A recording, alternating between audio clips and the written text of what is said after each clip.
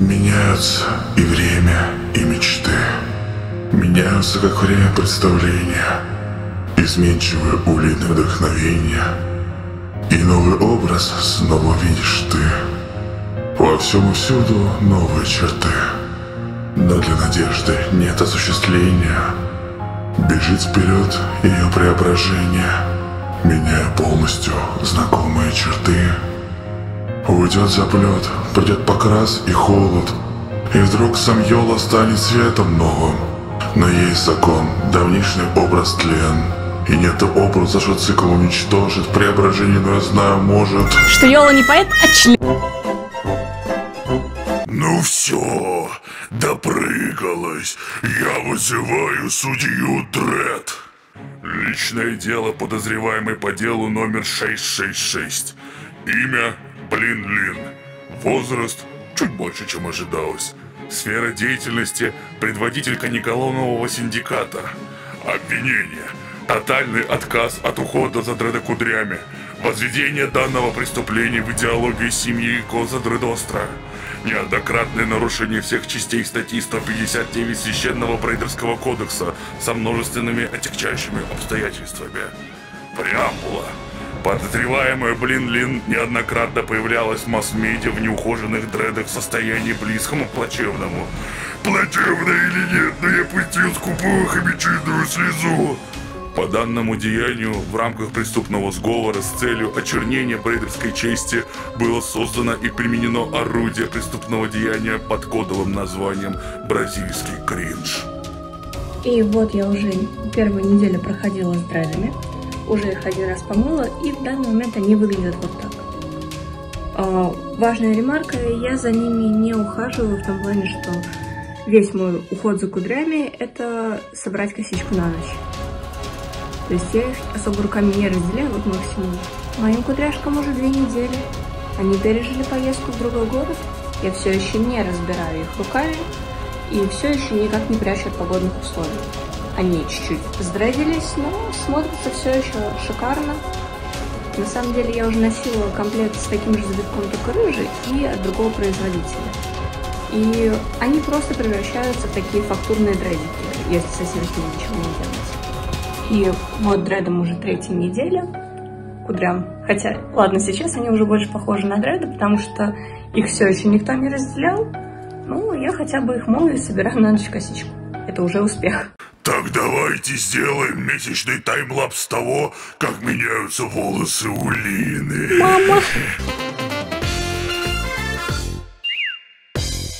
Вообще-то, твои волосы менялись бы иначе, если бы ты за ними правильно бы ухаживала. И так сойдет. Ходят сапсаны на перрон московского вокзала. Тамбовский хомяк устроит тебе допрос. Э, ладно. Протокол допроса ленивой попки Лины, что не ухаживает за своими волосами. Номер дела 999. А чего не 666? Этот номер уже занят другим зверем. Итак, объясните мне, какого хрена, Лина? Не, ну а чё? Как, чё, как вообще с этим жить? Я могу рассказать. Итак, Лина, вопрос номер один. Нужно ли расчесывать эти дреды? Это дреда кудри. Дреда кудри. Дреда кудри. Дреда кудри. или же дреды со свободным концом. Их расчесывать не нужно. Единственное, что если вы хотите, чтобы они выглядели аккуратно и красиво в течение всего срока носки, э, их нужно вот так вот попрядно разбирать руками. И все. И на ночь нужно собирать в косичку. Итак, вопрос номер два для протокола. Сколько можно носить эти дреды? Tоварищ хомяк, я это уже объясняла в нескольких видео. Сержант Йола, несите аргумент. Oh shit. Here we go again.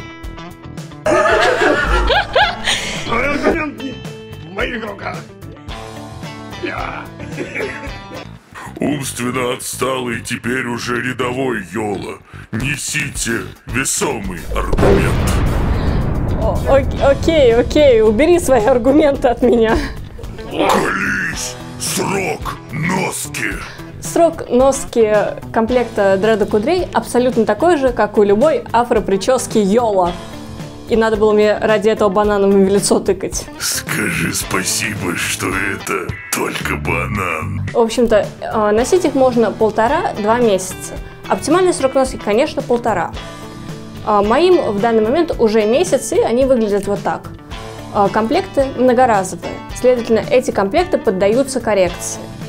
И их можно вплетать, ну, где-то 3-4 раза один комплект. Вопрос номер три. А как их мыть? Серьезно? Ну вот, только ты бы спрашивал. А для вас я расскажу. Нужно это. Кадет Йола, как она пронесла в допросную опасный химикат?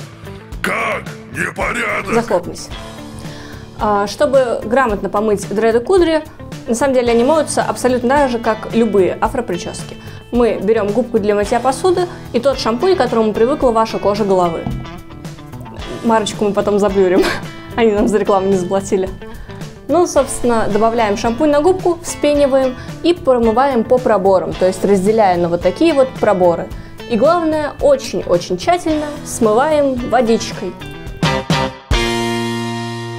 Вопрос номер четыре. Вопрос номер четыре. Да сколько они сохнут, наверное, целую вечность. На самом деле это в целом популярное заблуждение, но кудри сделаны из каниколона. Каниколон влагу не впитывает, поэтому после мытья вам достаточно радостно завернуться в полотенчико минут на 15-20, и сами кудряшки будут сухие. А, Останется сделать только, э, только дождаться, когда корни просохнут. Засушу тебя феном. Колись, колись. А, К вопросу о сушке феном. Можно ли афроприческу вообще сушить феном? Можно. Главное это делать на прохладном воздухе. А, Дреды-кудри от этого путаются ничуть не сильнее обычного, и, собственно, никаких проблем это не вызывает. А, Это имеет смысл только если у вас длинные волосы, которые реально долго просыхают. Когда ты меня уже отпустишь? А а? чё это? На море торопишься? Не-не-не. Допрос должен быть завершен. Кстати, о море. Э, Очень часто люди спрашивают о том, можно ли со всем вот этим купаться в соленой воде. Можно. Э, Для удобства, чтобы это все не намокало, можно собирать в пучок. Ну, либо если вы любитель понырять, спокойненько ныряете, а потом вечером просто смываете соль с кожи головы. Главная задача в том, чтобы именно э, промыть кожу от соли, чтобы не было никаких химических реакций, ожогов и прочего. А плавать с кудрями абсолютно можно, это даже удобно. Протокол допроса номер 999 завершен. Лина, вы можете быть свободны. А вы подписывайтесь на канал, напишите, какие еще у вас остались вопросы касательно дред, кудрей, вообще любых афропричесок. И в следующем видео мы обязательно на них ответим. Подпишитесь на наши соцсети. И, кстати, я все еще заплетаю, поэтому вы можете попасть ко мне на запись. Пока!